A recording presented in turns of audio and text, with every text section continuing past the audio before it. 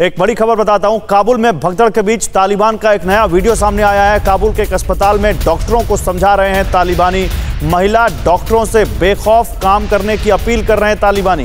देखिए, अब तालिबानियों को लग रहा है कि महिलाओं को, कि उनको ज़रूरत है।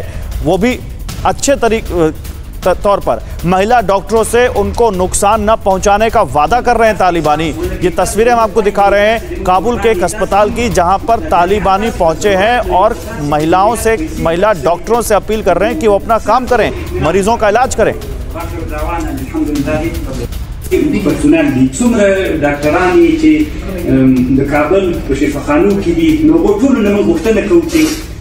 तो क्या ये बदलते तालिबान की निशानी है? क्या तालिबान वाकई जो कह रहा है, उस बात को करेगा कि महिलाओं की न केवल सरकार में भागीदारी, बल्कि उनके हक और हुकूक को उनको दिया जाए?